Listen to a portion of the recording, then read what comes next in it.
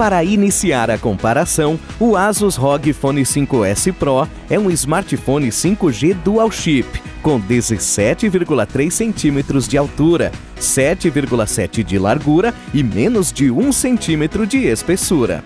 Por sua vez, o Obabox Oba Smart 3 é um aparelho 3G dual chip com 14,6 centímetros de altura, 7,2 de largura e 0,9 de espessura.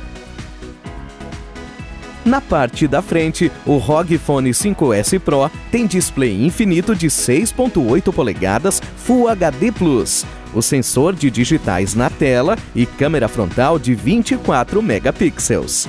Já na parte da frente do Oba Smart 3, temos display de 5.5 polegadas e câmera frontal de 5 megapixels com flash.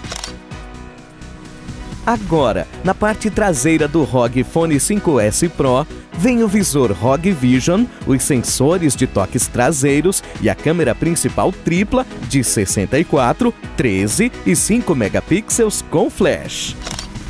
Enquanto isso, a parte traseira do Oba Smart 3 traz o sensor de digitais e a câmera principal de 5 megapixels com flash. Para rodar jogos e aplicativos, o ROG Phone 5S Pro foi lançado com o sistema Android 11 e processador octa-core, junto com 18 GB de memória RAM. Já o Oba Smart 3 vem com o Android 9 versão Go e processador quad-core ligado com 1 GB de RAM. Além da bateria 6000, o ROG Phone 5S Pro tem armazenamento de 512 GB para salvar seus apps, fotos e vídeos.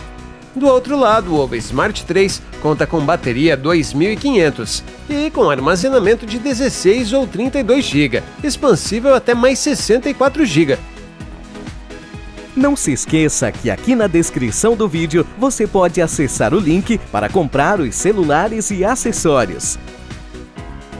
E para terminar, os destaques finais do ROG Phone 5S Pro são os alto-falantes frontais estéreo, os controles de toque ultrassônicos nas laterais e o design e acessórios gamers. E os destaques finais do Oba Smart 3 são o sistema simplificado para idosos, com letras e ícones grandes e a função de emergência. Legal, né? Veja as nossas dicas para os dois celulares, os links na descrição do vídeo e se inscreva também no canal.